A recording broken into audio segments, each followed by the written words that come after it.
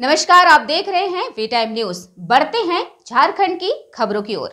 आज दुनिया भर में पर्यावरण दिवस मनाया जा रहा है। इसका मुख्य उद्देश्य पर्यावरण दिवस के ज़रिए लोगों को पर्यावरण के प्रति जागरूक, राजनीतिक चेतना के साथ लोगों को प्रेरित करना है, ताकि हमारी पर्यावरण की रक्षा हो सके और धरती पर संतुलन बनाए रहे। इसलिए पूरे विश्व में लोग पर्यावरण कार्यक्रम अपने तरीके से कर रहे हैं।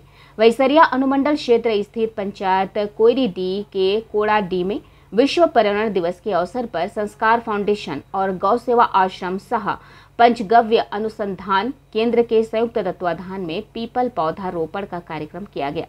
संबोधित करते हुए संस्कार फाउंडेशन के सचिव अमित वर्मा ने कहा कि पीपल का पौधा पर्यावरण संरक्षण व संवर्धन की दृष्टिकोण से बहुत ही उपयोगी होता है।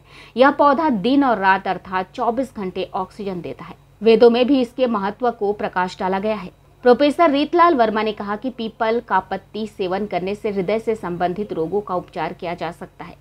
समाज सेवी रामशंकर ठाकुर ने कहा कि इंसान के जीने के लिए सभी ज़रूरी चीज़ें हमें पर्यावरण से ही मिलती हैं। इसलिए हर व्यक्ति को अपने जीवन में दो वृक्ष लगाने का संकल्पित होने के साथ सभी धार्मिक स्थल पर बरगद और पीपल का पेड़ अवश्य लगाना चाहिए। राष्ट्रीय स्वयंसेवक संघ के खंड सेवा प्रमुख जयप्रकाश वर्मा ने संबोधित करते हुए कहा कि आज विश्व पर्यावरण दिवस का उनचासवां दिवस के रूप में मनाया जा रहा है। समाज और सभी वर्गों के लोगों को पर्यावरणीय कार्यक्रम में सक्रिय रूप से भाग लेने की ज़रूरत है।